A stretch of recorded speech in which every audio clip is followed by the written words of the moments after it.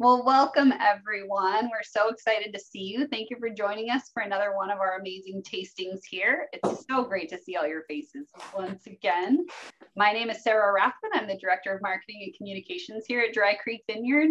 And let me tell you, this tasting, I know I say it every time that this is a tasting that we're excited about, but this one really is because, and I'll let Kim tell you the story, but this one really started it all for us. So I'll, I'll just leave it at that and I'll let Kim tell you. We're going to keep everybody on mute for, for the first, you know, majority of this, um, just in case there's any dogs barking in the background, people trying to vacuum. Um, we'd love to hear you guys through the chat functionality. So please make sure to use the chat functionality down below. We'll be monitoring that and answering questions. We also have the live transcript button on there. So if you need to see some computer generated subtitles, please hit that live transcript button if that's gonna help you follow along at all. And we're gonna go ahead and get started. So I'm gonna hand this over to Kim Stare Wallace, who's gonna introduce our special guest, John Antonelli for tonight. Ooh, hi, everybody. I see some familiar faces and a lot of new faces, and I'm super excited you're here. And um, I don't know about you, but I, it, my office smells so good. Um, and I am so excited to taste these cheeses and, and share a little bit about our wines and of course taste our wines. But I will give John Antonelli the credit for our, our foray into virtual tasting land.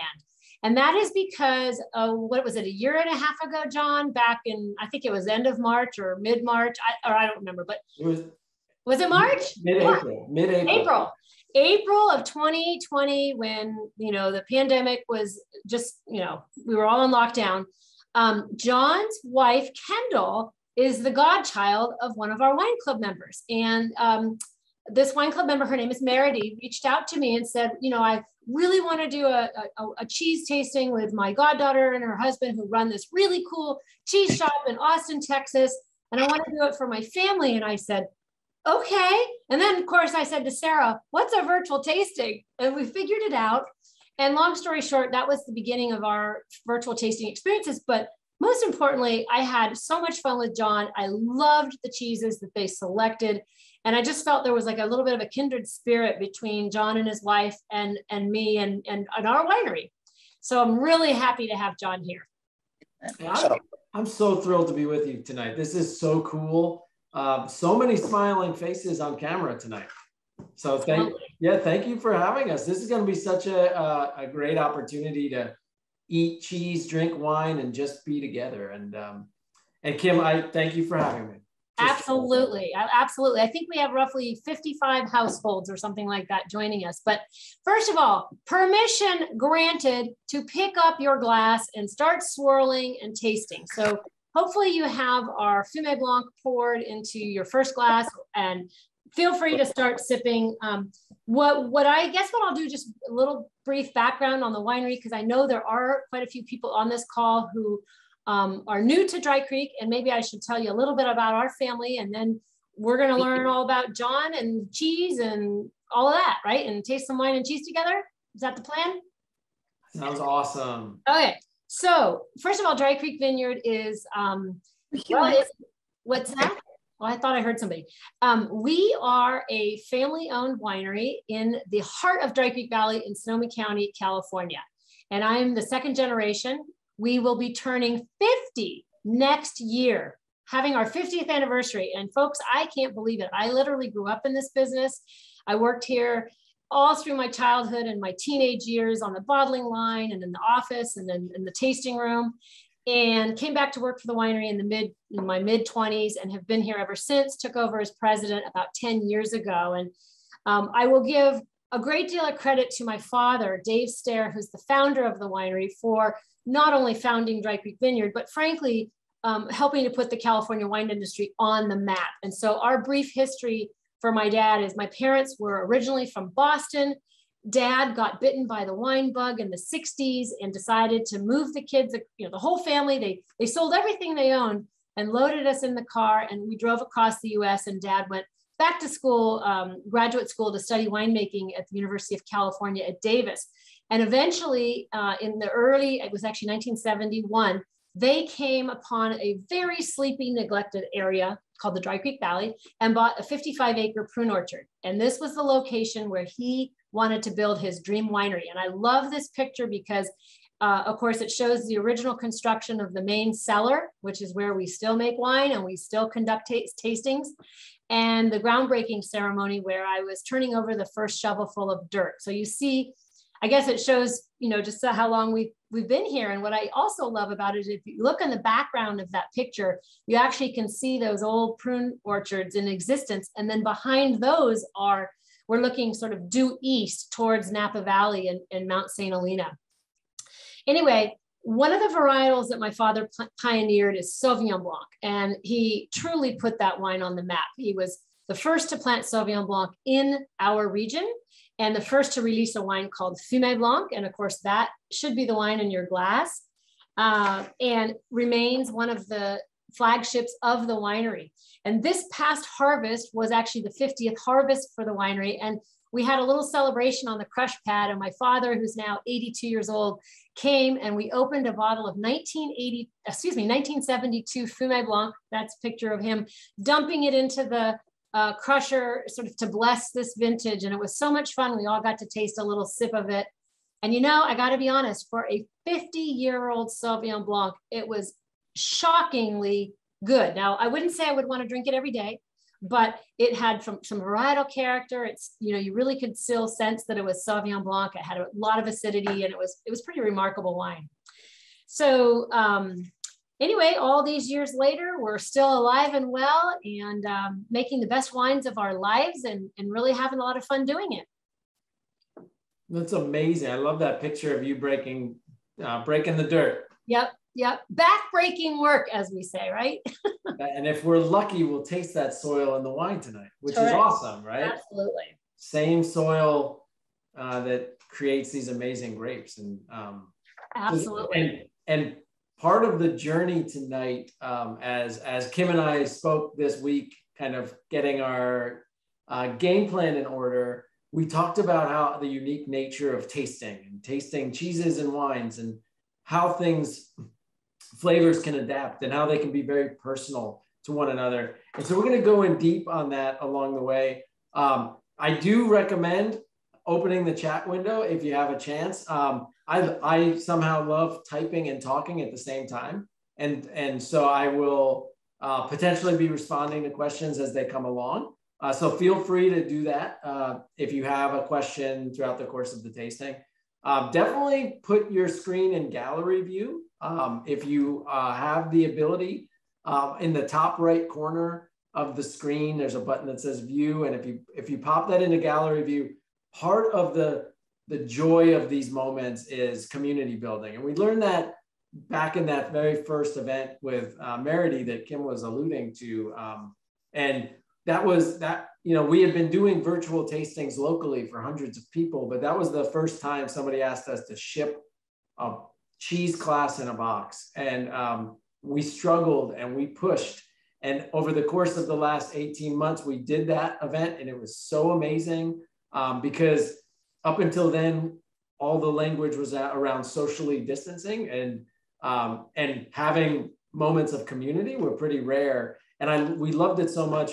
Um, Kendall and I have been blessed that over the last 12, uh, 18 months, we've hosted over 17,000 people in these virtual settings, um, sharing uh, our love of cheese, spreading joy, and, and aiming to live our mission, do good, eat good. And tonight's really special because, because we're going to get to kind of deep dive into uh, some really amazing cheeses along with these really amazing wines. Um, and Kim is going to be your wine expert for the night. Um, she lives, breathes it, um, and is an expert in the field. As you see, that was a, is a, in her blood from an early age. Well, not the alcohol, probably wasn't in your blood at an early age, but, but wine and winemaking um, and the culture around it. And I'll be your certified cheese professional for the night. I know um, everybody's always wanted to have a cheesemonger friend, right? Raise your raise your hands if you've always wanted to have a friend that's a cheesemonger, and that is John. I will be that friend for you. John, you got to tell people though how you got in the cheese business because sure. I, I think that's super interesting and and you know what you guys are doing And I'm not, wait, before you do that, I'm just going to brag a little. Okay. I'm going to tell a little story. I, I, I know you probably don't want me to, but I'm going to tell you a little, tell these folks a little story.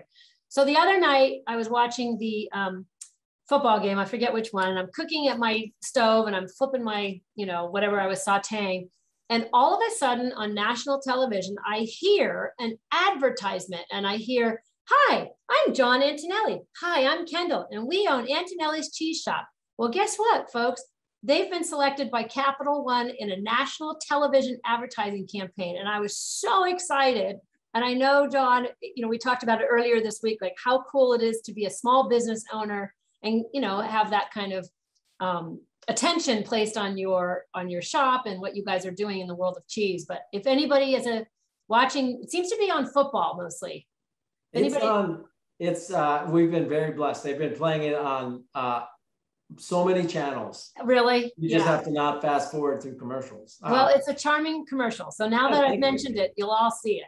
Yeah, you can see my better half. Now, instead of watching the shows, you can just watch for the commercials like we're doing. And uh, it's it'll come on at some point, I'm sure, during uh, Truckers from Hell or one of those types of uh, uh, shows. But yeah, we've been blessed as a small business. There's been ups and downs, but um, while I'm going through a little bit of my background um, as we introduce ourselves, one of the things that we've done, we've been hosting classes um, in person since February, uh, September of 2010. And one of the things that we've done ever since the beginning, the very first class of six that we taught on September 12th was an icebreaker. Um, we are we are essentially now family. Um, I mean, Kim and I have been family since that last day. Is how it works. We're sharing food. We're breaking bread together tonight. And so the, the icebreaker has always been, if you were a cheese, what would you be? And some of our team members uh, talk about it as a soul cheese, um, like you might have a soul animal or a soul partner. Um, or Kendall says like a desert island cheese. Um, now you don't have to commit for, to this one for the rest of your life. It could just be for the next five minutes. So um, and of course, you have a cheat sheet should you need any guidance. But throw your soul cheese into to, into the chat window. I'd love to get to know y'all a little bit uh, closer. Um, so uh, uh, Stephanie has. Do you uh, Stephanie? Do you mind if I share your question um, out loud to the? Uh, you you sent me a direct message, and I just want to honor whether you're okay with me sharing it out loud or not. Um, uh, so my name's John, and uh, my wife and I uh, opened Antonelli's Cheese Shop in February of 2010. Uh, it was on our honeymoon that I turned to her to say I was going to quit my job. I'm a CPA by trade, um, so a certified public accountant and audit, uh, and wasn't quite enjoying the experience as much as some other folks were. And so I, um, I told her we, I was going to quit, and she said, "Okay, what are you going to do?" And I said, "Something in cheese." And so it started this journey uh, to find my passion and cheese really found me artisanal cheese. And um, and it and because I was pretty much talking about cheese in my sleep I was eating it for every meal uh, Kendall ultimately fell in love uh, with it in this in the same way. And so we opened the shop. We've had some great years. We've had some rough years as all small businesses do. Um, but we're in a really great spot. We have a, a team of 38 people um, we have a retail shop. We do wholesale um, to Whole Foods, Central Market, 150 restaurants in the area. Um, and uh, we do events all across the globe now. Um, we can ship up to 45 countries, which is pretty cool. And so, um, and so my soul cheese for the night, uh, Kim, you're going to have to present yours too, or your soul wine if you'd like.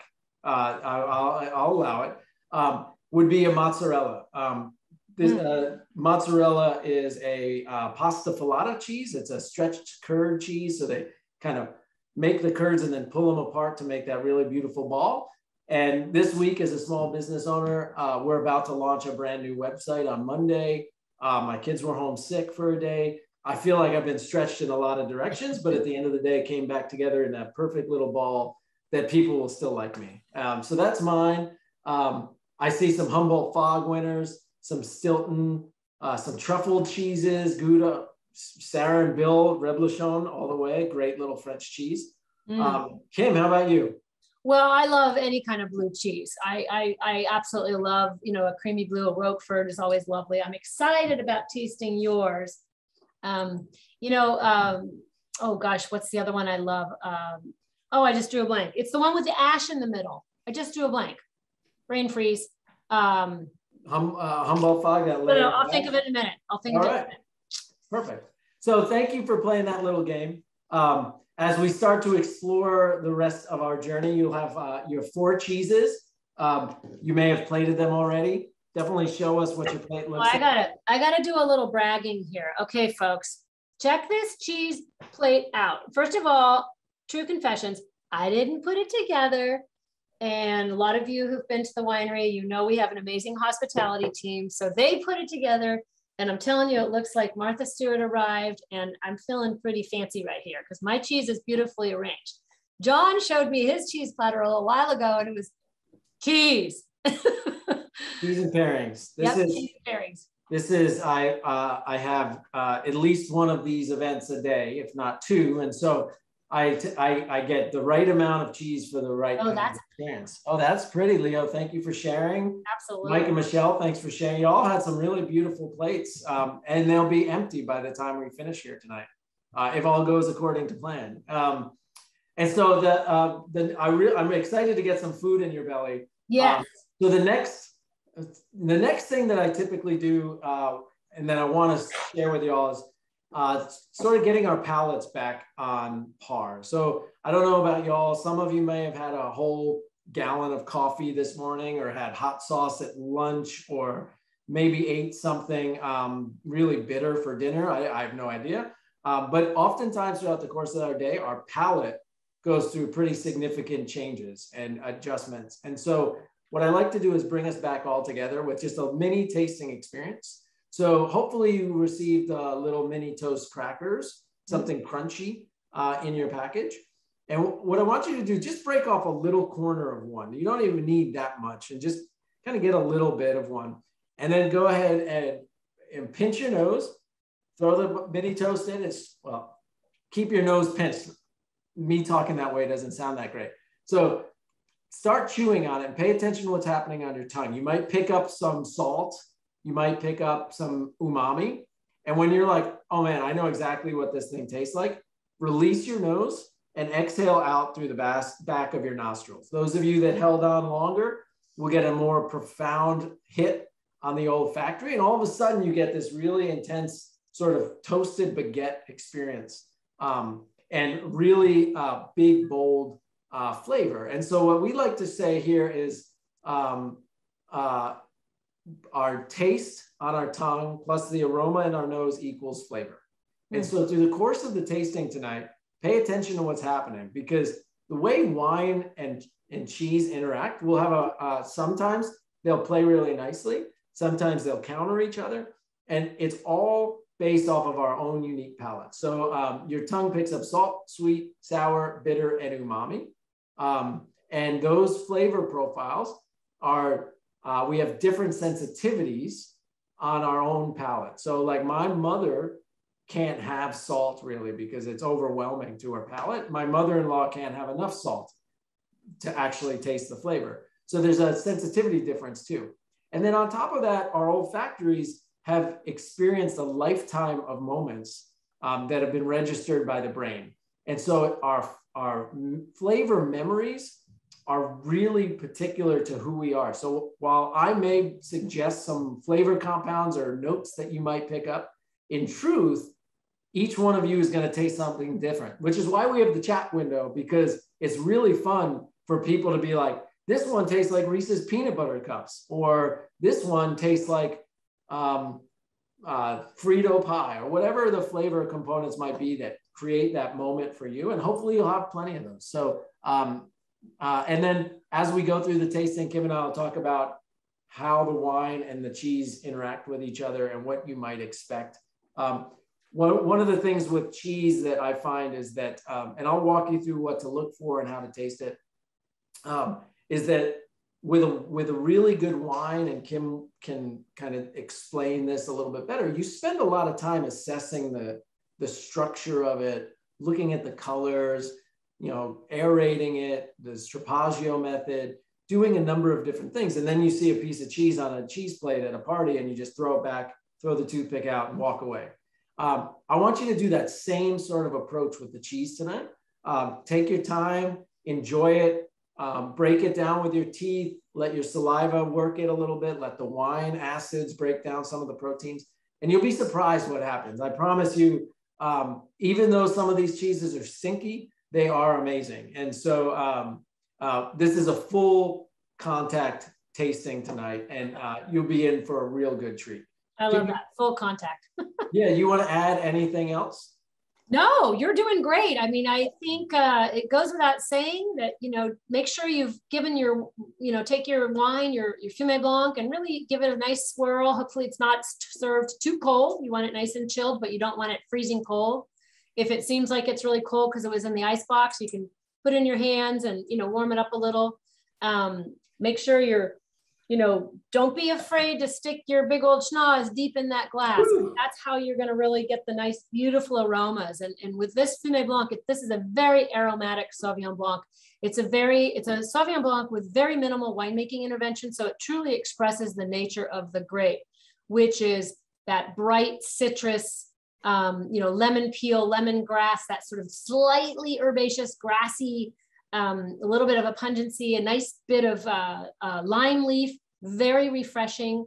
It's um, bone dry, so it should be quite tart and crisp on the palate. Um, no, you know, no oak aging, so there's no sort of heaviness or creaminess or that kind of texture. It's more of that lively, refreshing texture that should pair really well. In fact, I know it will because you're an expert. So I am super. Like my stomach is starting to growl. To be well, honest. let's let's yeah yeah I get that. Let's eat. It's part of uh, my strategy is if I hold everybody off just the right amount, your excitement level goes through the roof with the first bite of cheese. So it's like it's all about that building anticipation. Don't want to go too far though. So let's this cheese though. I don't want you to taste just yet. I'm going to talk about it for a second, okay. um, and then I'll, I'll, I'll kind of give you uh, give you the green green, uh, green light in just a second. But our first cheese that we're going to taste is Mini Harbison. This definitely has an odor to it. Um, this comes from our, uh, the soft ripened um, uh, bloomy rind category. It's really our second category of cheeses uh, when we talk about our styles. The first being fresh, which would be like a mozzarella. Um, but what makes this style really significantly important is the use of mold. So on the outside of the cheese, you can see this, there's uh, this really bright white. This is uh, uh, Penicillium camemberti. So it derives from the mold that's used to create camembert in Normandy in France. It's a very prolific mold that's been harvested and used throughout the generations throughout the world. Mm. Um, and uh, that mold breaks down the protein in the cheese curds after setting the wheel. And that activity, breaking down proteins into peptides and then into amino acids, creates different types of aromas and complex um, uh, organics, um, molecules. Um, and the other thing that's super cool about Harbison, which I'm gonna, I'll go into a little bit more, and a reason why I don't want you to eat it, the outside layer around the edge, that's bark. So definitely don't take a bite of that. Um, I've done it before. You're welcome to. It's edible, but it is bark. And As in tree bark? It sure is. This is a really special cheese. Um, this is Harbison. This comes from Jasper Hill Farm in uh, Greensboro, Vermont. So in the Northern Kingdom, our friends um, Mateo and Andy Kehler, they um, lived in Boston, but they grew up spending summers in this little tiny town of Greensboro, uh, Vermont. And when they were in out of college, they wanted to do something in agriculture. And they really wanted to go back to the land that they spent time on. Greensboro had been uh, in disarray and in, um, for a long time. And so they went back and they figured out that they could do um, cow's milk dairy, and then they started making cheese. This is one of their newer creations over the last decade. Um, but this cheese, Harbison, you got the mini version.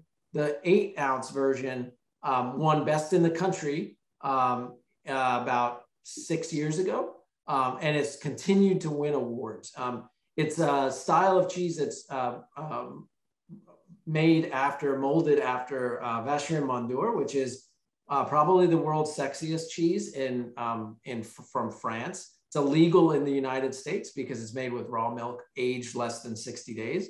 But they kind of modeled it after that. And the reason why they wrap it in bark is because the cheese center gets so liquidy that the bark is what holds the wheel together. Without that, it would just turn into a puddle on the shelf and break apart. Um, so the classic way of eating a cheese like this, we never ship it really because um, it's for special events like this. So this is probably the first time we've used it in an event, is that you take the wheel and you actually take a knife in along the crown of the, the cheese and you cut the top off. Oh. And the, oh. in, the inside is spoonable. So the inside becomes like a personal fondue. Uh, you just dunk bread right into it. Uh, you dunk crackers. Kendall and I dunk other cheeses, or we make a steak and we dunk that right into it. I mean, anything is possible.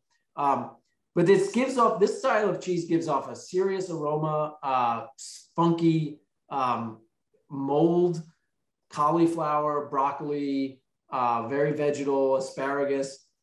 Um, it's a super intense cheese. And but if you eat the inside, the cream part, that's going to be where you get the lightest flavor profiles. If you eat the rind, the rind is going to taste more like mold. And then if you eat the bark, the, it's going to taste like bark. So if if you want to start with just the inside, definitely do the inside. Then try the uh, the rind um, a little bit. Always try the rind. Every single bit of cheese that we can sell is edible. Um, so if you like it, keep eating it. okay, so we can taste it then. I can taste. Go ahead, it. taste the inside. Yeah, uh, this is a cheese worth um, a million bites. I love this. Uh, when it, it's uh, when it won Best of Show at the American Cheese Society, uh, I was running the competition at the time.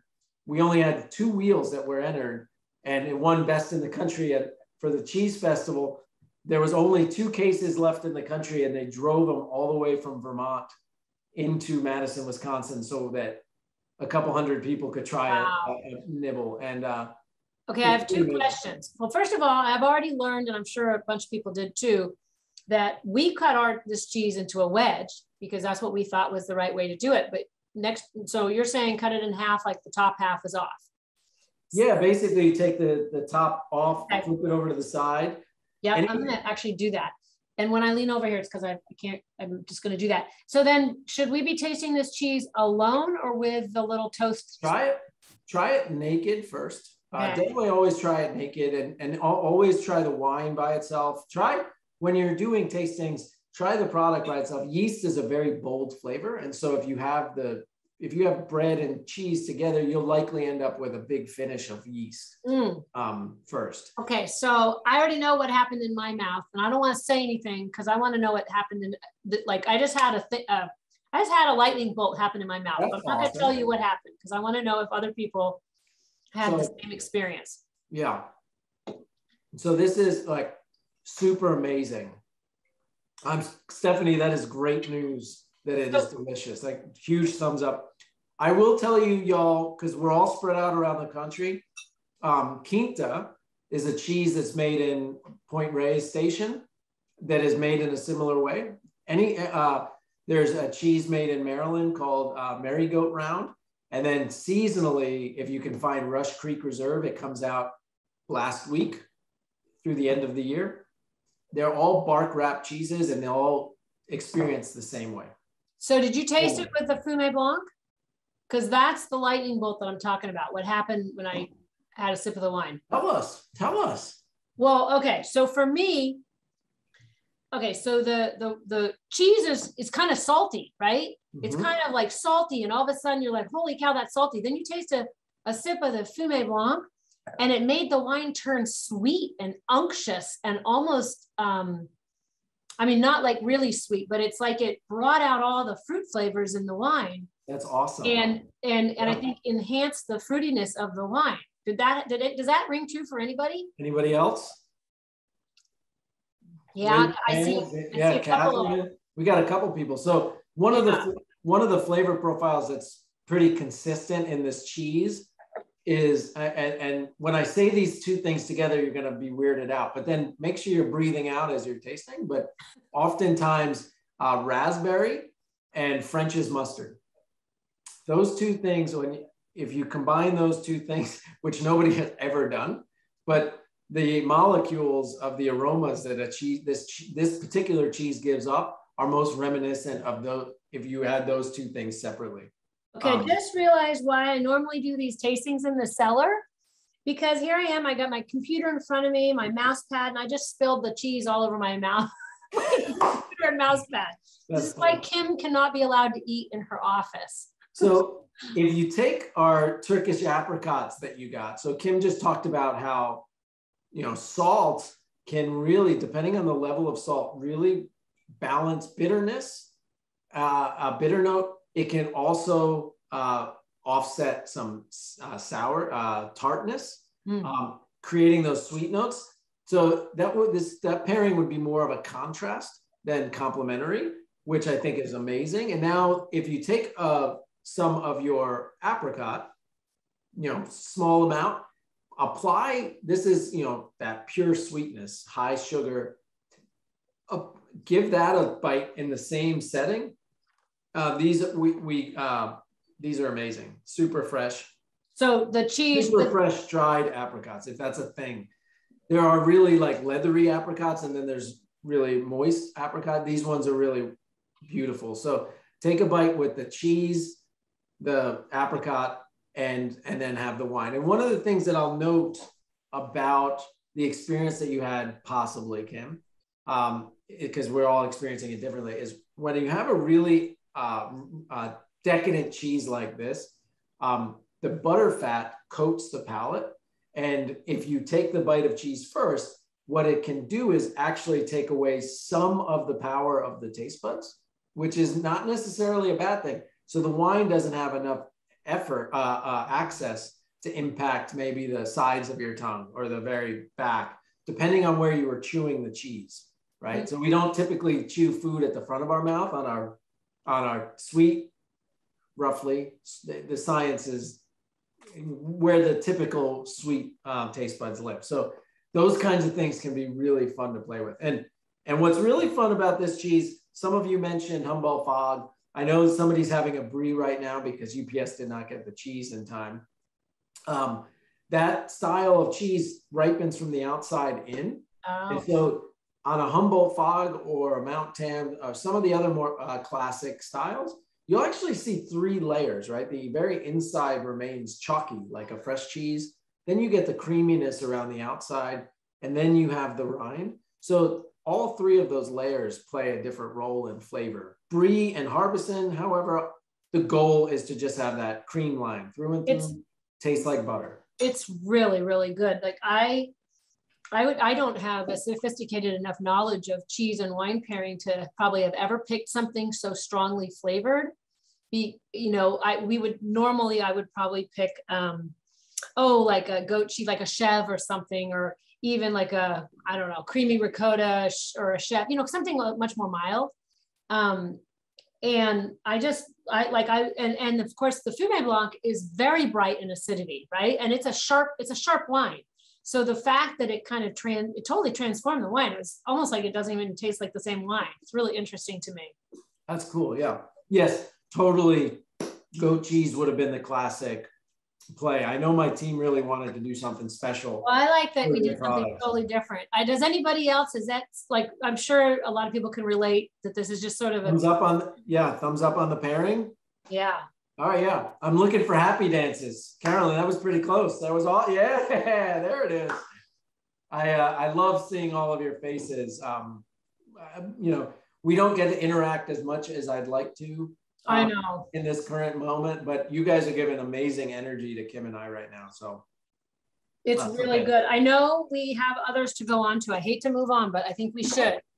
Uh, I'm here. I'm here all night. yeah. I'm here until the internet goes out like it did yesterday.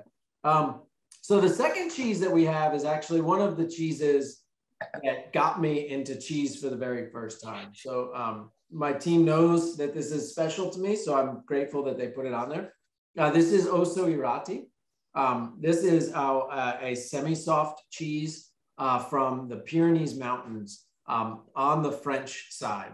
And so uh, where the Pyrenees Mountains are the border between Spain and France.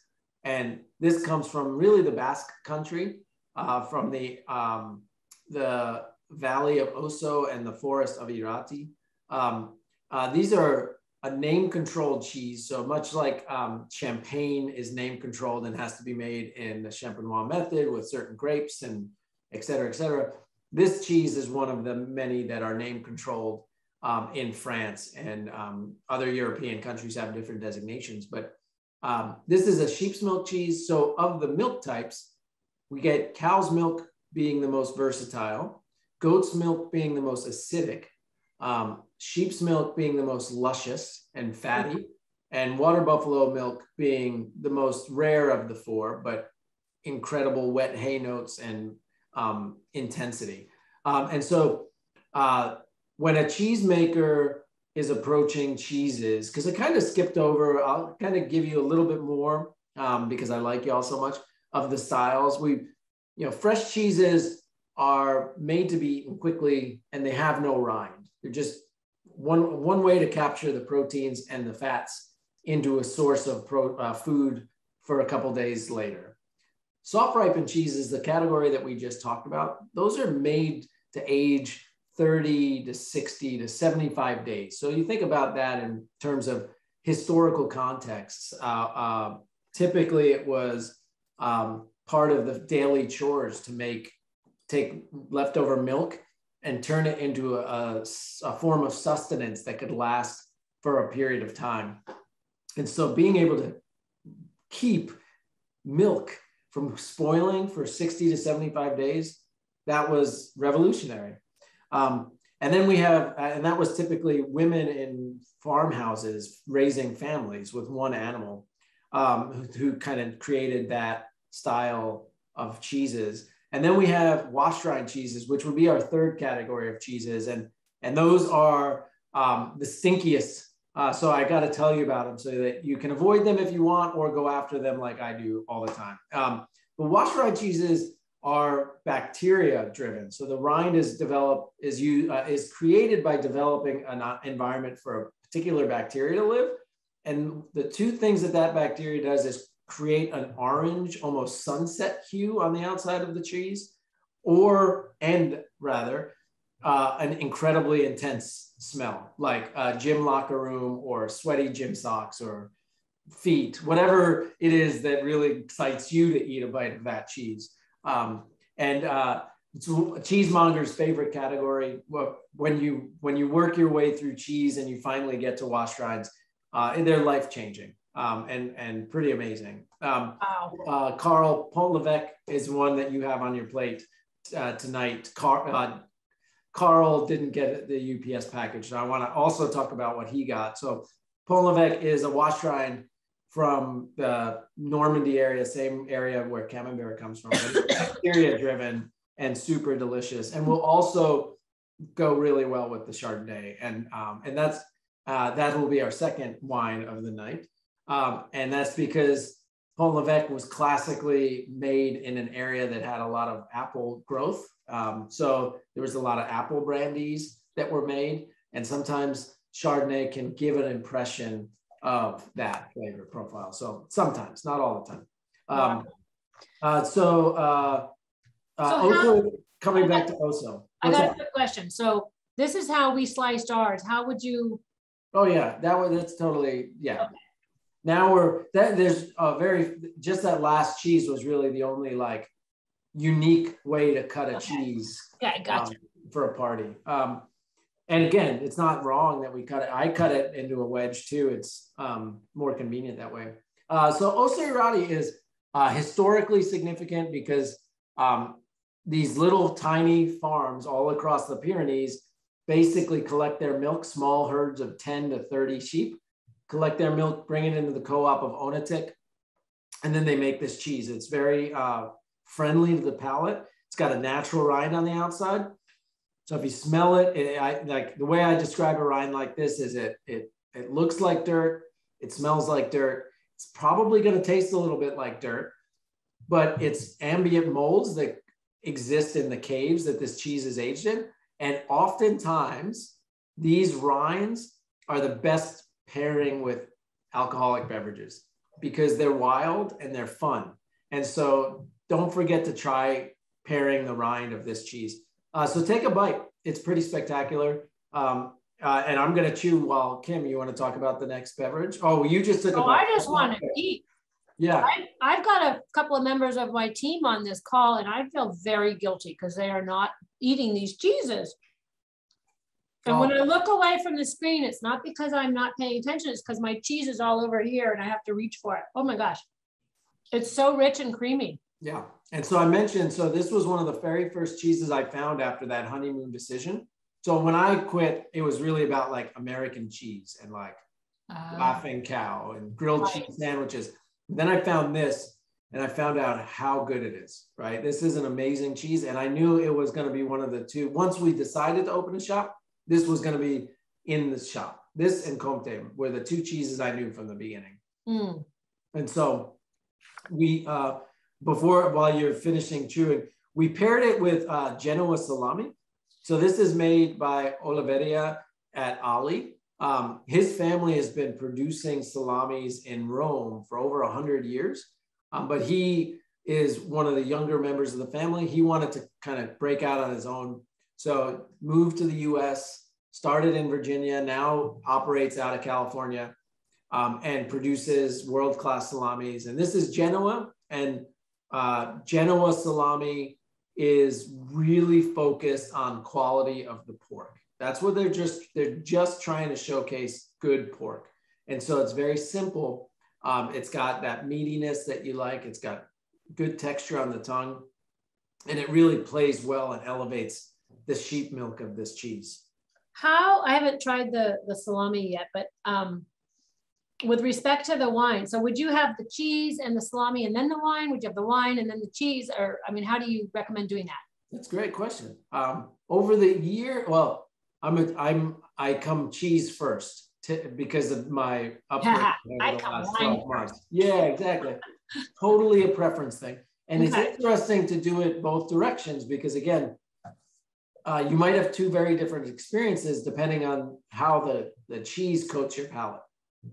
And right. so I would definitely try the wine by itself, get really excited about it, pay attention to what you're experiencing, then try cheese first, then wine, and then go the other way and just have fun with it, right? I don't find Kendall and I don't uh, really believe in like rules of eating because okay.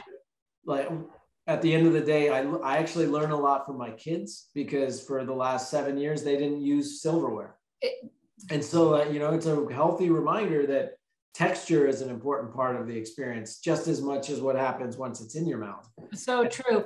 When my children, when Taylor and Spencer were little, I used to love to have them smell wine at the dinner table and they would come up with the most amazing descriptors that I never even thought of and you know, it would be like so spot on because you know, that just was fabulous. Well, speaking of the wine, so this is our 2020 Estate Block 10 Chardonnay and this is kind of a special wine and it's sort of a it's it's sort of symbolic too of the transformation of the winery from my dad and his you know when he ran it in his generation to my husband and i. Um, this is a wine that comes from an estate vineyard in the russian river valley. Um, we actually have made chardonnay every vintage you know since 1972 and we used to make a fair amount of the sonoma county appellated chardonnay and it was quite nice we had vineyards and Chardonnay vineyards planted here in Dry Creek Valley. We had a Chardonnay vineyard in Alexander Valley. But the reality was that it, it, it, wasn't really great. And part of the reason why it wasn't really great is we didn't have it growing in the right location. And after many decades, we all we understood that Chardonnay really excels in a cooler climate region. So we actually planted a vineyard. Uh, uh, it's about 20 minutes south of here in the Russian River area um, we actually use, we call it Foggy Oaks Vineyard, but we now call it DCV 10. And we just name our vineyards one through, you know, one, two, three, four, five, six, seven, eight, nine, 10. So hence estate block 10. But nonetheless, the, the, the um, appeal of this vineyard site was the fog. And so this area that's not too far away from here is significantly cooler than Dry Creek Valley. And even though the Dry Creek Valley is very much um, influenced by the Pacific Ocean and we have that fog layer that rolls in here as well, it's definitely you know, quite a bit cooler in Russian River. So this vineyard that we, we um, uh, developed allowed us to really bring a, a, kind of a new level of quality and, and heightened um, uh, expression to our Chardonnay. And now today we make a very small amount of a very, very nice Chardonnay. And I will give a great deal of credit to my winemaker, Tim Bell. Excuse me. when we hired Tim, sorry, it's been about, 11, I think 10 or 11 years. Sorry, hold on. Let me just cough. I'm going to mute and cough. Sorry, went down the right, wrong, wrong pipe um, we we were really in a quandary about the future of our Chardonnay program. And I was, look, folks, I was raised on Sauvignon Blanc. We make a whole line of different Sauvignon Blancs and Chardonnay. You know, I love Chardonnay, but I just don't drink it a lot. And and I kind of said to Tim, you know, I'm thinking about getting out of the Chardonnay business. Not sure we should even make Chardonnay, but you're a new winemaker. Let's see what you got. You know, I'll give you one chance at it. And he went to work on um, his version of our Chardonnay and ended up basically selecting a very small section of the vineyard, about 30 vine rows in the northeastern corner, which he felt was a better suited area, even within this district in Russian River Valley. So a little better draining soil, a little cooler climate, etc. And he came, you know, he, he, he employed some winemaking techniques that we hadn't been doing before. One of them is called a serial fermentation, where it's partial wild yeast fermentation, and then he inoculates with some various different yeast strains. Um, it does undergo a, por a portion of it is barrel fermented. So the fermentation actually takes place in small French oak barrels. And then a part of it goes through what we call a malolactic fermentation or ML. Uh, and malolactic fermentation is what converts the very crisp malic acid to that kind of creamy, softer approach. Um, and, and so the, a, a combination of these things really kind of brought this wine to a whole new level. And I'll tell you what, I love our Chardonnay and we make a, as I said, a very small amount of it. Um, what I think it shows is just how beautifully balanced this Chardonnay and Chardonnay can be. It's not a, while it's been aged in fr French oak barrels and it under has undergone both the barrel fermentation and malolactic that I mentioned, it is not an oaky wine. It's got beautiful acidity. There's some lovely crisp apple, tart apple. I get a little bit of a tropical fruit sort of um, aromatic on the nose and, and, maybe a little bit of a, a, very, very subtle toasted hazelnut characteristic. Um, and and and I, I think it's a really lovely wine. We were actually really excited. Tim and I just tasted this last week with a group here at the winery, and I hadn't tasted it since we bottled it. and we both looked at each other and were like, damn, this is really good. So for, for to pair Chardonnay though with you know this cheese and the salami, I probably wouldn't have done that. So I'm always interested, like, how did you figure that out? Well, I th- I think with uh, when I when we approach a Chardonnay, are you trying um, to do like creamy? Because this cheese is kind of creamy in texture and, and yeah, yeah, mild and, creamy texture. And certain wheels buttery, have, a little buttery um, certain wheels have uh, like some tropical fruit notes in it. And so you can go, the, the thing that I like the best about this cheese is that it is so versatile. So it goes, it goes with, it's one of uh, the few cheeses that I can confidently say goes really well with white, mm. red, beer, rosé. Like it's very versatile because it's, it's a friendly cheese. It's got soil characteristics to, from that rind mm-hmm. uh, some earthiness, and that often brings out um, fun flavors from the grapes. Um, you know, trying to connect down to the, the root structure of the vines. And so, um, so when we were playing with it, and then that meat again isn't like uh, part of the special nature of Genoa is that its aim is to be delicate. Its aim is to have that essence of pork, but not to be a really intense spiced flavor. Um, and so I think what you get is a really um, beautiful like uh, mouth feel from mm-hmm. the cheese and the meat together. Uh, and then the wine really comes together and it, and it makes it an even like creamier, velvety yeah. Chardonnay experience, which I think everybody loves. I, I actually think it's really, really beautiful together. Um, I, I don't know what other people think. Maybe they can just put their comments in the chat um, yeah, they, they know I'm going to ask about happy dances at some point, so we'll find yes. out. Yeah, no, it's really delicious. Um, That's awesome. Well, keep drinking that. Why don't we, we'll move on to cheese number three. I'm happy to answer lots of other questions along the way. Um, I have another quick question, probably really dumb, but you know what? If I have it, maybe someone else has it. And it's about the salami. So with Genoa, how is it that they can call salami Genoa when it's not in Genoa? Um, it's a great question. Um, oftentimes, uh, name controlling didn't start early enough for styles, and so uh, there are there are protected designations, but they're often based off very particular wording. And so, just the Genoa salami um, is is very, it's likely too generic mm. for uh, the uh, for a name control. Interesting, because so, that, that's yeah. what, yeah, you know, it's just fascinating, huh? Yes, and like wine can got the, the name controls can get down to like the vineyards and stuff, but the name controls of some cheeses and meats are, are much harder to control because the supply comes from lots of different places and it moves mm. and, and so there's uh, you know uh, a lot of different examples of meats and cheeses that just can't be like feta. Like at this point, feta is too difficult to name control um, because it's too prevalent. Um, and so Genoa is likely the same. Is there a region of feta? Is where is there a town or a region of feta somewhere? Uh, Greece would Greece. be. Greece. Okay, Greece, yeah. So Greece uh, should have owned the name control, but they should have. They should have. They should have followed the, the, the path of the French, huh? Yeah, well, that's the, it. Just all happened so late, and and part of the reason that PDOs exist in the cheese world is because of a cheesemaker in Minnesota. I, I like that last comment. The the uh, how yeah. Ossau-Iraty blew someone's mind. yeah, the way that we remember this cheese uh, for your future is, and this is how Kendall tells the story, but uh, it's oh so Irati. Oh, so, so good. you'll never forget that cheese now. Um, and I can imagine that area, the Pyrenees, right, the Basque region, very mountainous, very steep. And I've never been there, but I've been to areas of Switzerland where they make um, sheep cheese out of sheep. And it's so rugged, and you know these slopes are like this, and these sheep are sort of clinging to the edges. And I don't know if it's is, is like that or if it's more on valleys, but it's it's got to be pretty intense.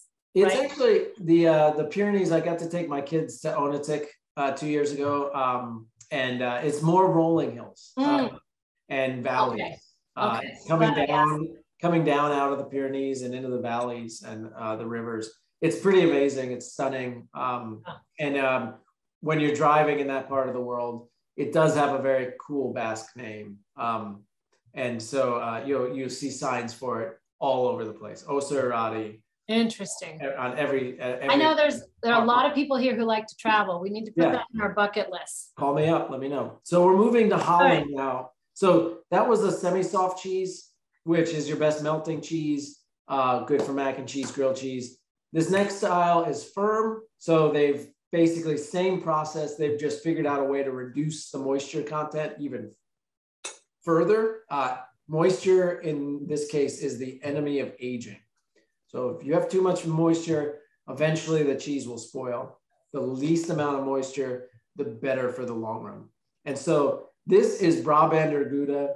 Um, drum, uh, uh, it is one of the finest Goudas on the planet. I learned today from one of my team members that Gouda is the uh, about 50% of the world's cheese consumption is Gouda. Um, and so this, this hails from Holland. Um, it's a style of cheese making that it doesn't result in a sweeter cheese, but it results in a perception of sweeter sweetness. And so Gouda is really popular. Um, and this is a goat's milk Gouda. So we've had a cow, we've had a sheep. Now we're getting to try go, uh, goat's milk. If you looked closely at the two cheeses, Ossau-Iraty and Brabander Gouda side by side, um, I kind of destroyed my piece of Ossau already. You can see the Oso is ivory in color. Right and the goat milk cheese is white. Uh, goat milk can digest beta, goats can digest beta carotene.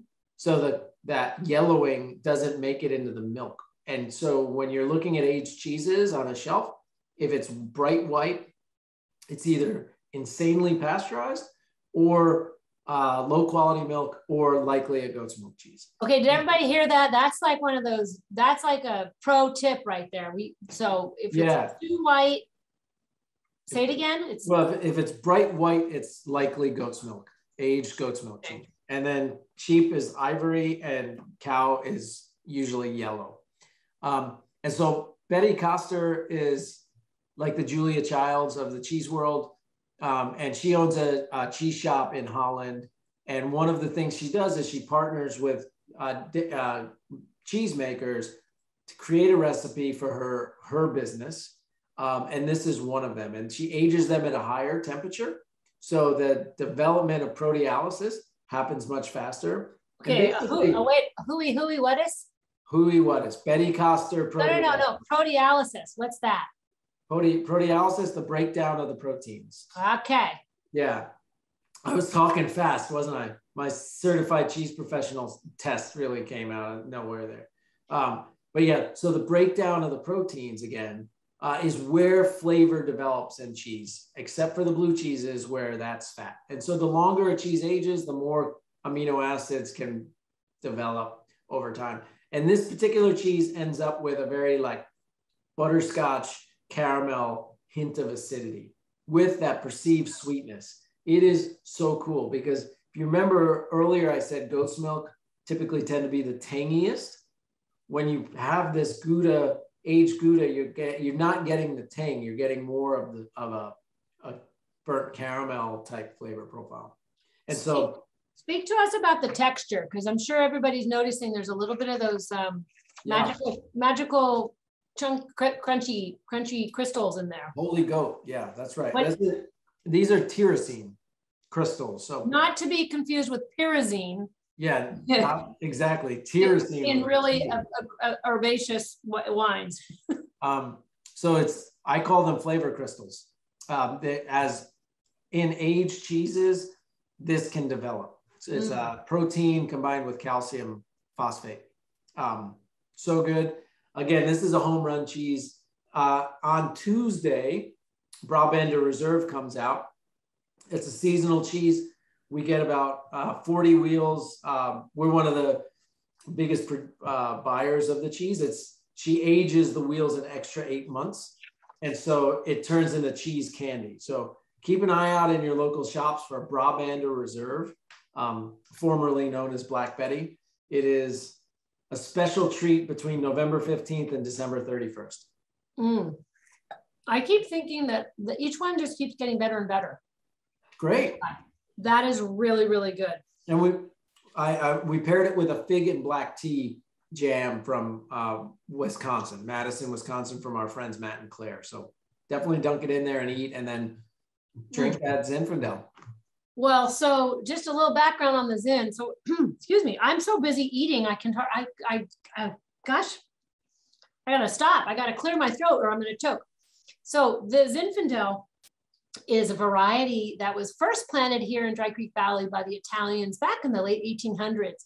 And when my family arrived here, um, after Prohibition or, you know, basically during Prohibition and after everything that was planted is Zinfandel was converted to prune orchards. And remember, I told you my dad bought an old prune orchard.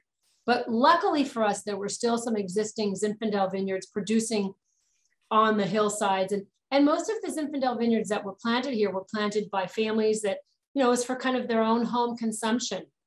And we are lucky to still have very few, but a few old vine Zinfandel vineyards. Well, this wine really pays homage to those heritage or legacy vines in that we um, developed a special, a very special propagation technique where we took budwood, so those are canes, off the oldest vineyard in the area, a very famous vineyard planted way before the 1900s, and we grafted that onto rootstock that was planted in a new vineyard. And, and the vineyard happened to be in front of my house. So when Don, my husband Don and I bought our house, we um, wanted to, to develop this vineyard with this propagation technique and we did it. And so we called the wine Heritage Vines Zinfandel. So this is a photograph or illustration of how you basically take the little budwood from the original, you know, I'll call it the, the, the heirloom vine, the old 100 plus year old vine, and you make a little slit in your rootstock, stick the bud in, wrap it up, and voila, you know, you've basically grafted your, your grapevines. And that's how we graft over vines all the time. But nobody had done that with Zinfandel, and nobody had done that trying to capture the essence of an old vine Zinfandel in a new Zinfandel planting. So our winery was quite innovative at the time. And um, it's one of, this is one of my favorite Zinfandels. It happens to be 77% um, Zinfandel and then about 20% Petite Sirah and actually 1%, actually 22% Petit Sirah and then 1% Old Vine Carignan. And the idea is we're trying to, again, replicate what we call field blends because the Italians that settled here actually planted these Zinfandel vineyards with a hodgepodge of varietals, not just Zinfandel, and they're referred to as field blends. So this is a, a wine that I think kind of pays homage to uh, the Italian heritage in this region and in America. And and I'm and and the other thing that's super really special about Zinfandel is it's not grown anywhere else in the world. It really is America's heritage grape, and it can be made in many different styles. Um, it's one of the most difficult wines that we produce. Zinfandel is a very uneven ripening grape cluster. So during harvest, there'll be um, green clusters in there, there'll be purple clusters, and it takes a long time to figure out when to make your picking decisions. And it really takes kind of an expert, I think. And this is why you find many very overripe, high alcohol Zinfandels on the market. Ours is the opposite of that. There's some beautiful acidity, some brightness. You have some lovely raspberry, boysenberry, um, maybe a little bit of blackberry fruit tones. Um, you also have some nice spiciness. Zinfandel is naturally a very spicy variety, so it can have spices uh, almost, if you think of, um, well, we have Thanksgiving coming up. So if you think of some of the spices we use to make uh, pumpkin pie, right? Allspice, nutmeg, and then spices like cinnamon and cardamom. Those are very traditionally you know, good descriptors for the spices in Zinfandel. Sometimes Zinfandel can be very black peppery or white pepper. This is a little, I think, more white pepper, um, but you definitely get some of those beautiful spices, spicy notes, but with balanced alcohol. So my our, our philosophy at our winery is all about balance and elegance. And our wines are intended to be food pairing wines, and in this case, cheese pairing wines. I'll just say one last thing. I, I noticed a, a, unlike you, I can't read and talk and type. So, but I did see a question oh, about barrels. And so I want to just address that. So, so we, we grow the Zinfandel here in Dry Creek Valley. We pick it at the right temperature.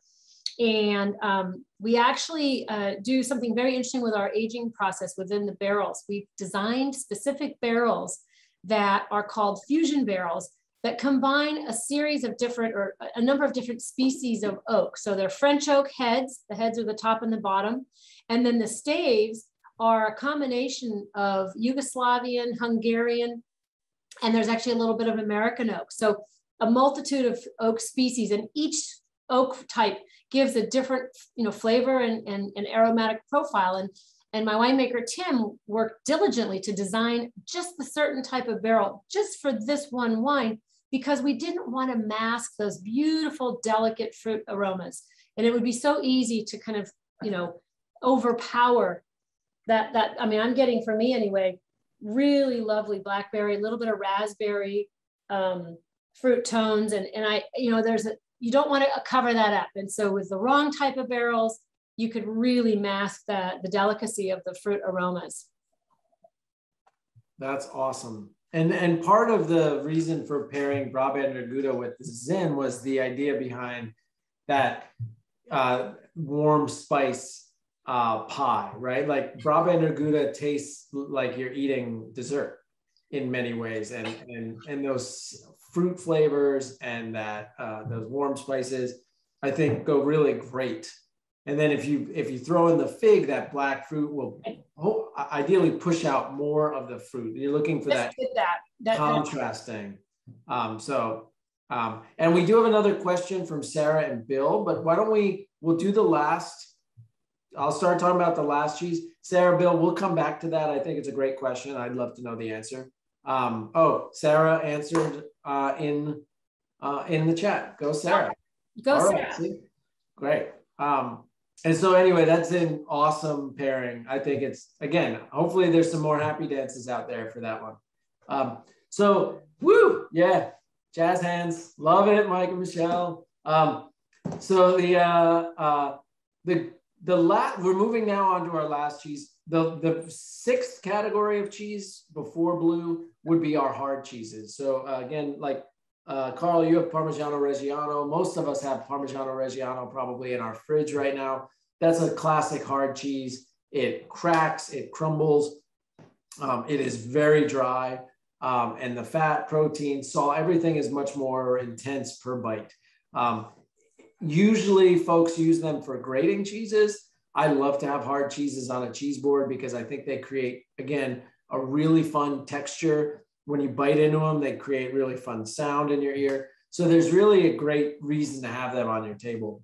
Um, but now we move into a blue cheese category. Um, uh, best Zinfandel Charlotte's ever had. I know that just made my day, Charlotte.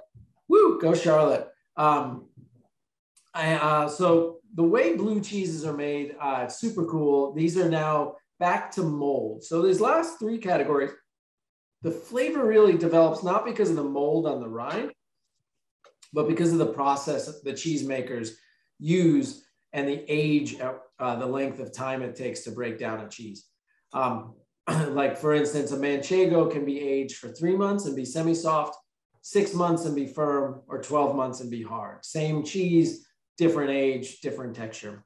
Um, texture plays a really important role in flavor. Um, and the, the last category is blue. So what happens is a cheesemaker um, gets their vat of milk. They add Penicillium roqueforti or one of the other few strains of blue cheese into the into the liquid milk. So they add a liquid mold into the mold into the milk. They make the cheese wheels, the curds, put them together, and after a couple of days, they take these long spikes, these needles, and they puncture the wheel of cheese. Um, and what happens is um, this mold is aerobic, so it needs oxygen to grow. And so the these striations in the curd, uh, in the wheels, allow air to get into the inside of the cheese. Now, a cheesemaker could certainly choose not to pierce the wheel at all and just allow the blue to uh, mold the outside of the cheese, which is common uh, in a handful of cheeses.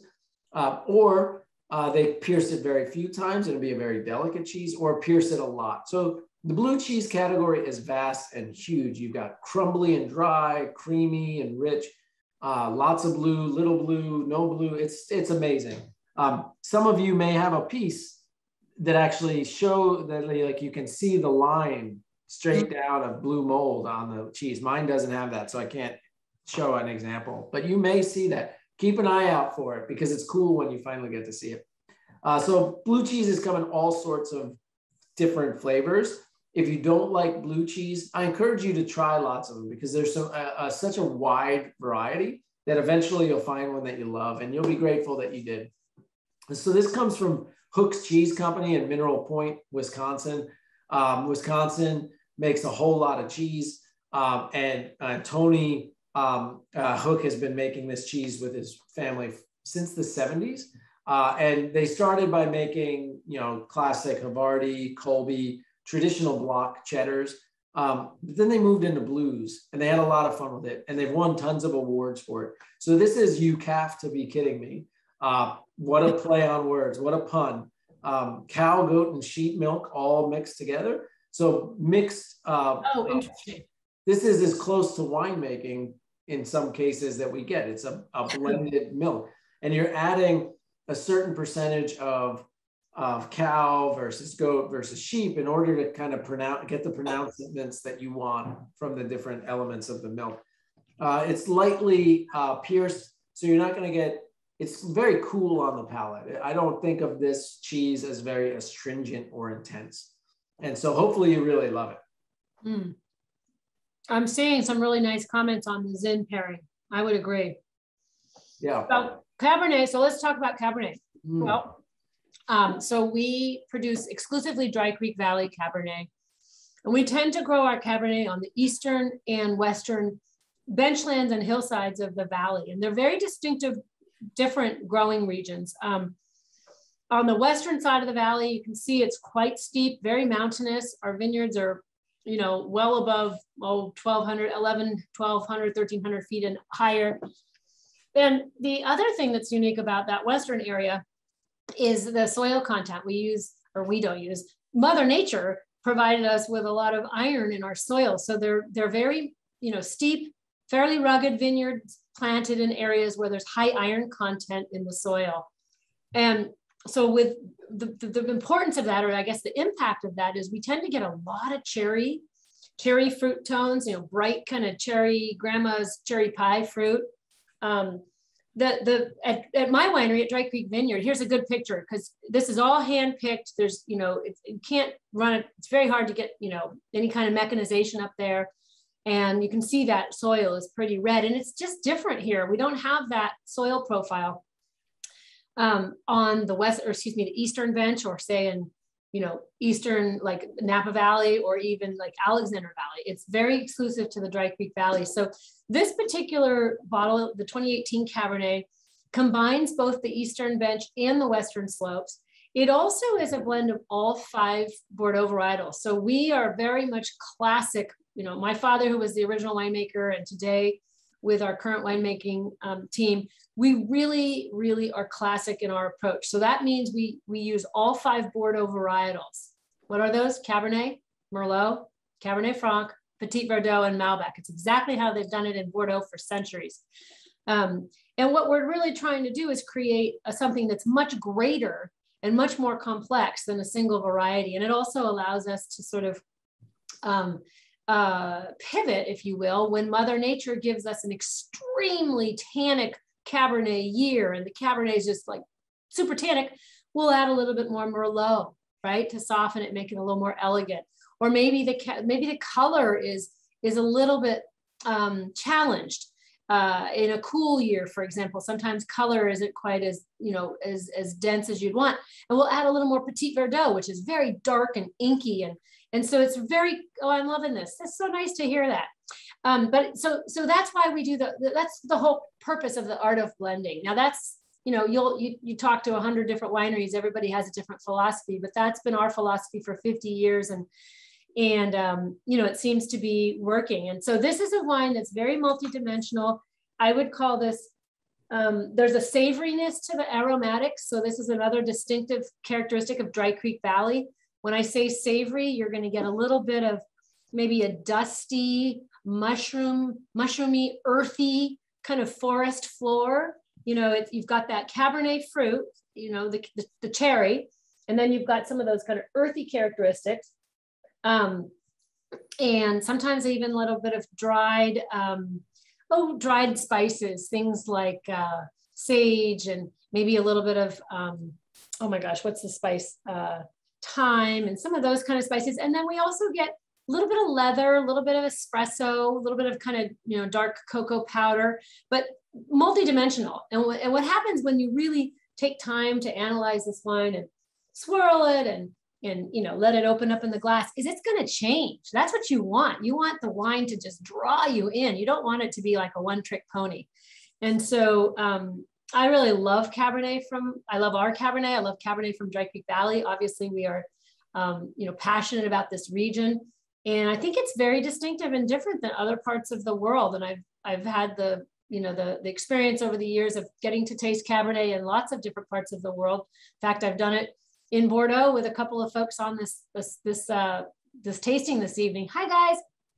And, uh, I, I don't know. It's it's just really fun. We also um, we also do age this wine in in about mm, just maybe under uh, just under two years in small French oak barrels, and you know really the intention is that those those wines or excuse me those varietals will meld and marry together and be really beautifully balanced. Um, I haven't tasted it yet with the with the blue cheese, but one of the thoughts I had is because this this is a softer Cabernet, so we make a, a variety of Cabernets and some are very intense and much more tannic and, and that sort of thing. This is a, I would call, you know, medium body, softer, good structure, good tannins, but um, maybe a little softer than another one. And I don't, I was curious what you guys thought with the pairing with the blue cheese, because sometimes, you know, sometimes it's challenging to pair red wines with blue cheese, right? And that's why a lot of times blue cheese is paired with um, you know, a dessert wine or a sauterne or something else. And I'm just curious how, like, you're the cheese expert, John. How do you feel these two go together? So the, the way that we, you know, this is um, as far as pairings go. This is probably the most more intimidating, most intimidating type of pairing to do. Okay, so I'm not alone when I just said oh. that.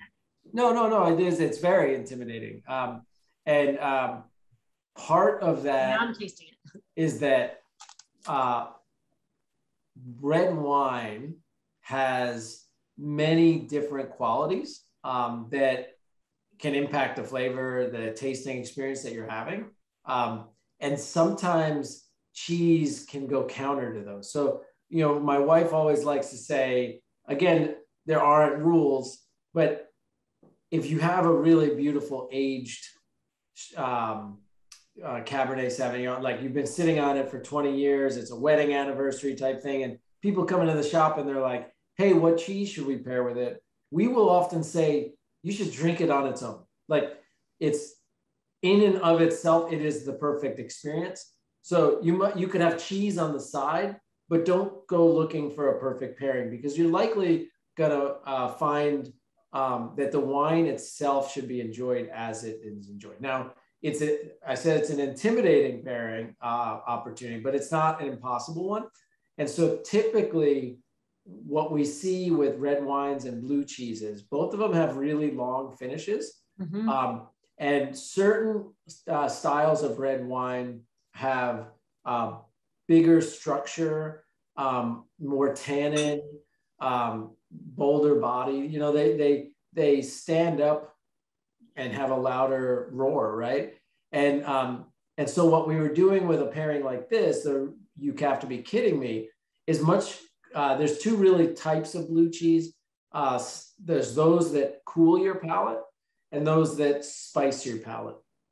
And so by choosing one that cools your palate, you're offsetting some possibilities of the tannins or the astringency that sometimes can come with a, a really big red wine, um, and allowing then the aromas of the mold and the cream to play with the berries. And so that would be what we're aiming for in a pairing like this. Now, as, as I mentioned um, earlier with cheese, um, or implied, but I didn't talk about, is that every single wheel of cheese is different. So even right. though Tony made this batch and there's 15 wheels of you have to be kidding me in this batch, every single one of them will taste slightly different depending on if they aged on the top shelf of a rack or the bottom shelf, if they were, if one had more direct air flowing from a fan or something, all, that all impacts it. And so, um, so even if um, even if I'm tasting an amazing pairing, some of you might be tasting a different wheel of this. You to be kidding me.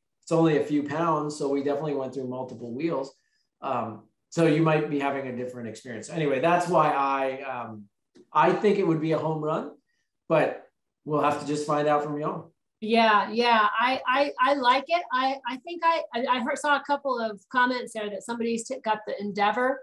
Endeavor, John, is our single vineyard Cabernet that's you know, got a little more tannin. It's a big wine. Our Iron Slopes Cabernet.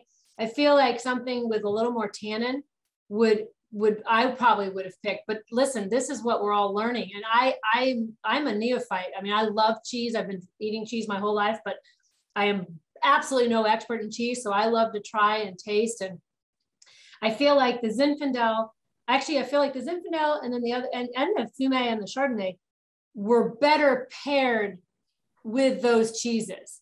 I want to enjoy this cheese alone and I want to drink this Cabernet alone, but I don't know if I, you know what I mean? Totally. Yeah, which is, this is, this is why we're all doing this together. Would it, uh, is that, does, is that ringing true for anybody?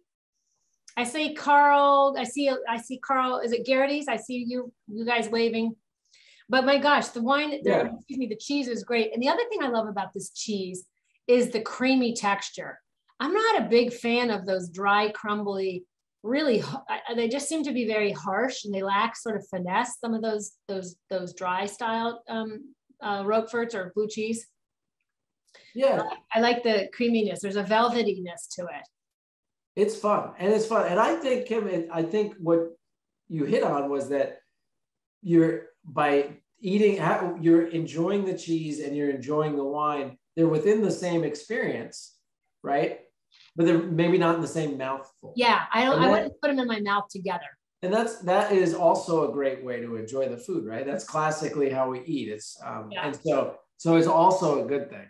Um, but you should try if you have any of the Harbison left. Try yeah. some of the Harbison with this wine. Oh, and the again, Harbison. Okay, that first cheese. Okay, that's a good idea. First And, and again, because it takes a bold cheese to stand up to a big wine. Okay, that's I like that idea. And so, uh, and I would pair if you have a bit of the salami, at the the salami, the harbison, and this wine will potentially be the best pairing on the plate. Not that we put it in those orders, but those three things together could possibly be the best pairing of, of all. So Did you guys all hear that? That's play with. That's why I like to play with my food, and you know, like part of this. Okay, so that I just had the umami thing just happen. Like I just had that magical moment. That is so much better. Those three. Those those three. Totally. And you know that was so oh. interesting. And, and I, I, forgot to mention we didn't even try the chocolate either. Oh so my gosh! Yeah. Yeah, yeah. So uh, I got so excited. Um, uh, but we now that you did the harbison, and you should do that because that's yeah. Everybody do that. Take your first cheese, that really gooey harbison that we tasted with the Fumé Blanc, and try it with the Cabernet. So amazing. Um, hello, Rich. Uh, Kendall is not nearby, but um, I, I wish she was. If she is, I you know I now I you were on you were on screen number two of my Zoom, so now I can pan over and see that it's great to see. Yeah, everybody needs to raise a toast to Rich because Rich it was Rich's wife that originally set up the tasting a year and a half ago. One of the greatest human beings I've ever met. Absolutely. Cheers. Cheers to Meredy. Mm. Oh boy, that is really amazing the har the harbison and the and the cab. Yeah. So now cleanse your palate because we're going to try something else. Um, I forgot to talk about the chocolate. I ate my piece without talking about it. It happens. Um, but um, the uh, chocolate is uh, from Tien. It's Tien Giang. It's made by Marou. Uh, it's a chocolatier in Vietnam. We were the very first company to import it into the U.S. Um, it is a single origin uh, single varietal chocolate, which means that re- these, these folks are really just trying to get the best beans they can from specific growers in the in different parts of Vietnam and turning them into delicious flavors. You want to eat a chocolate like this just as you were drinking that wine. It's got as many nuances as these cheeses. It has a, a start, a middle, it has a finish, goes on, let it melt on your palate it is amazing. Uh, Marou has won so many great awards. Um, and the um, uh, when you think about dark chocolate, especially something at 70%, your brain probably tells you bitter, but this chocolate does not really present that way. And so now, following on what Kim said, the cheese and the wine together don't elevate each other, but now try it with this, this little hint of bitterness, a bit of sugar now, which is going to alter uh, the way your palate experiences the rest of the flavors of the cheese and wine and see what happens. So the creamy cheese, that beautiful rich chocolate, chew those together, follow with that glass of wine.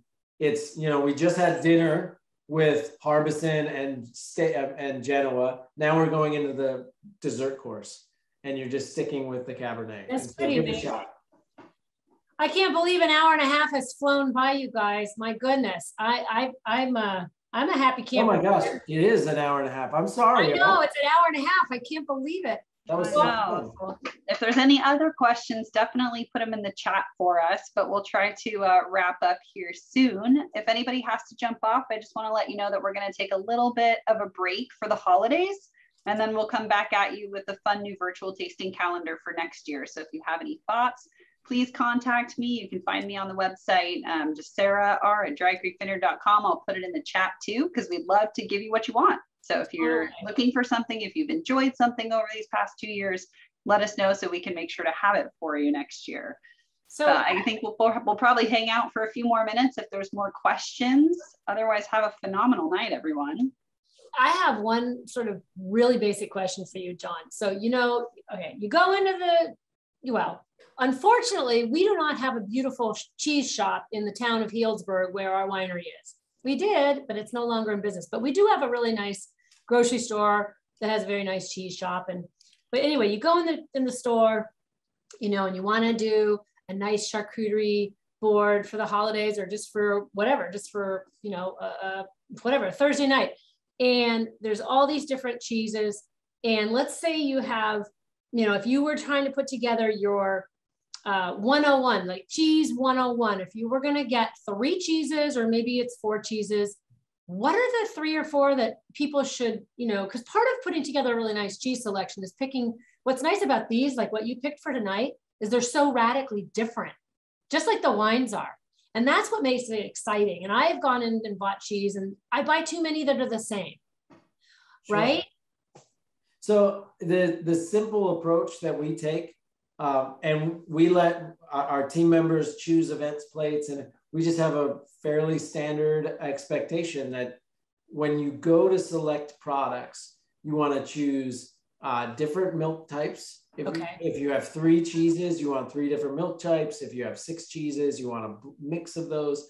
Um, you want to choose different, uh, like one cheese from different styles. You don't want to typically overlap on styles because what'll happen then is you'll get your texture uh, variety. Uh, if so, if you just all you do is those two things, different milk types, uh, choose different styles from the seven styles, you'll end up with a really solid cheese plate um, that that will go well with a lot of different wines. And like, uh, and so that's my best advice. And then if you really want to get fancy, don't overlap country of origin unless it's the USA because our cheesemakers are amazing and mm. our country is so big that it's as if it's a different country when you choose uh, uh, don't over like we don't overlap states or countries. That's kind of our philosophy.